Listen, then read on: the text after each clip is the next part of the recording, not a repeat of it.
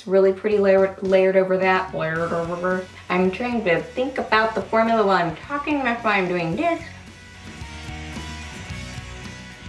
Hey guys, welcome back. So got Friday favorites and fooeys for you today and I would say this week I was kind of going more for like metallics. Like I've got a coppery favorite. I've got kind of like a, I don't know, rosier rose gold favorite like more on the rose side of rose gold.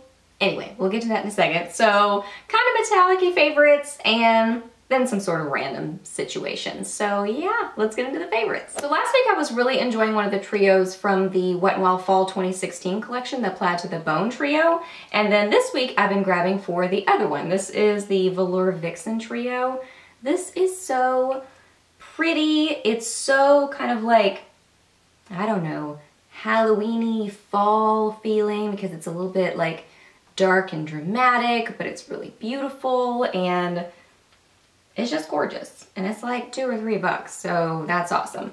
My favorite from the trio is this one. It's just a beautiful kind of like, I don't know, burgundy raspberry wine sort of a color, but this um, matte creamy shade is really nice too. It, it reminds me a lot of Brulee, which I also love, the single in Brulee. It's just a gorgeous pigmented creamy shade. So I do have all three of these on my eyes today. I have the kind of like burgundy sort of shade in my outer corner and crease. I have the creamy shade as my, did I say the, I have the cranberry shade in my outer corner. I have the creamy shade as my brow bone highlight. And then I have the darker color in my outer corner, like just a little tiny bit of that, just for a little bit of added dimension. So yeah, I mean, just really pigmented. You really can't see the brow bone very well because it's really close to my skin tone color, but it is pigmented, it's beautiful. These blend like a dream, they wear really well. What is up with that swatch? That's a little bit strange looking of a swatch there, but I tell you, knuckle swatches, whatever that is, swatches get weird around here sometimes, but hopefully you can still see the color. Um, it's just an awesome trio and I was grabbing for it a lot this week. I just majorly gouged two of those shadows when I went to close it. That is so sad and it was my two favorites. They're still functional, but that stinks. Okay, so also on my eyes this week, I've been using my Touch N Sol Metallist Liquid Foil and Glitter Shadow Duo. And I have it in number five, Lottie. So I do have this on my eyes today, kind of on my lids. This is so glittery and beautiful. It is a little bit complicated to use, so it's got the creamy side and then the kind of glittery top coat side. So I would say do one eye at a time because you want the glittery um, top coat to adhere to the kind of like creamy side. So you don't want the creamy side to fully dry before you get the glitter on there. You know what I mean? And then also the glittery side, the little applicator thing, is kind of curved, so it can sort of like get stuck and like poof everywhere. So, I mean, it is a little bit complicated to use, to be honest, but it's so pretty that it's worth it. I'm trying to get this all situated to show you.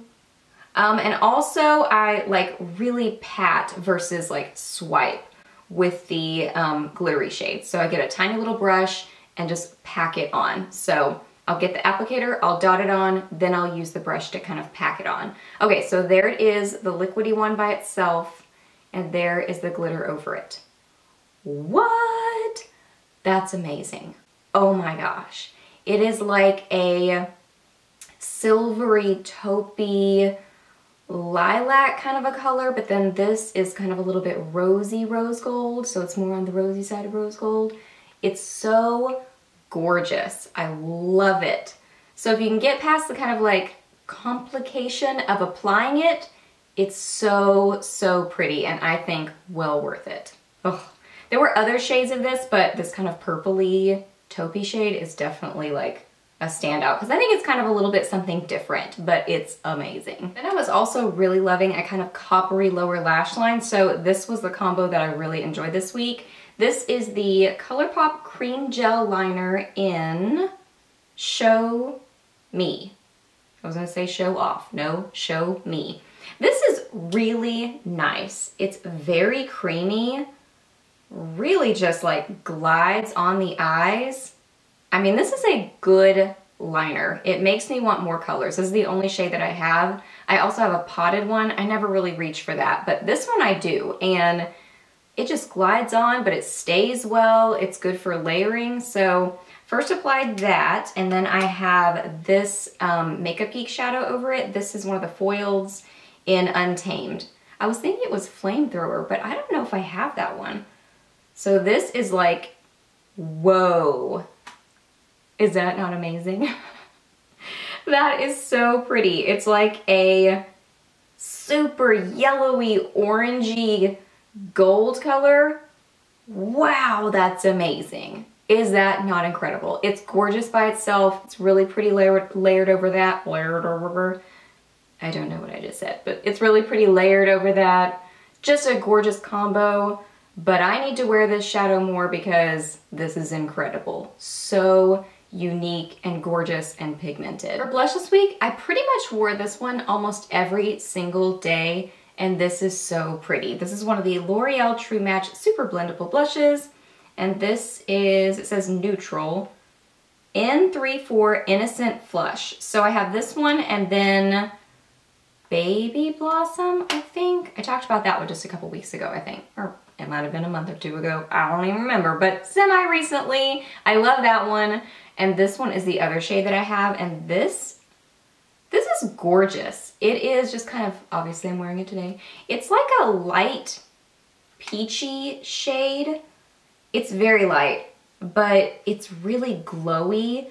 So you don't need a highlight with it. I mean, you could, I mean, I went all out a couple days and added highlight on top of it, but it really kind of like, you know, does a double duty sort of a purpose. So you don't really need the highlight. But it's just like really beautiful and light and glowy. It builds on itself really well, so you can just kind of keep building up the color, or it can be really subtle.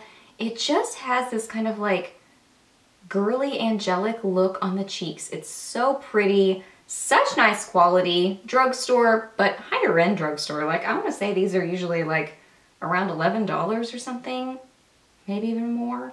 I don't know, so they're kind of pricey, but this is huge. This is six grams, so it's a good size blush and it's just absolutely beautiful. Like this looks like anything high end to me. This looks like this could be totally, I don't know, something from NARS or Too Faced or whoever. It's just really, really pretty. I grabbed several of the Rimmel Kate 15 year anniversary lipsticks.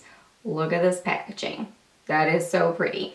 I think there were like around six in the display maybe, and I picked up three of them. I got kind of like a burgundy purpley sort of color and then I got two of the nudes. The standout this week for me was 56 Boho Nude.